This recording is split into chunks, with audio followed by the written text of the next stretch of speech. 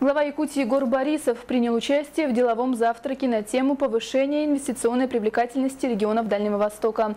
Разговор, в таком формате с участием руководителей всех дальневосточных регионов проводится на площадке Восточного экономического форума традиционно. Выступая с анализом инвестиционной привлекательности, глава республики прежде всего остановился на особенностях Дальнего Востока с точки зрения ведения бизнеса. По мнению Егора Борисова, эффективность ведения своего дела зависит именно от особенностей регионов. Высокая стоимость транспортных расходов по доставке грузов, неразвитость транспортной инфраструктуры значительно влияют на себестоимость товаров и услуг. Положительным шагом к формированию равных условий ведения бизнеса стало снижение тарифов на электроэнергию для предпринимателей Дальнего Востока. Для Якутии тарифы снизились более чем в два раза – на 58%. Действительно, Якутия третий раз принимает активное участие в Восточном экономическом форуме.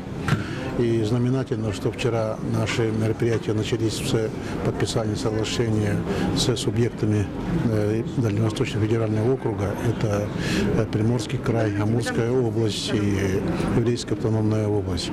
Мы имеем со всеми субъектами, девятью субъектами Дальневосточного федерального округа соглашения, протоколы, которые э, делают нашу деятельность, совместную деятельность в документальной протокольной основе. В прошлом году мы подписывали соглашение с Хабарским краем.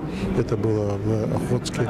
И знаменательно, что это земли, которые э, севере Хабарского края и юге Якутии могут быть совместными э, полями совместной экономической деятельности.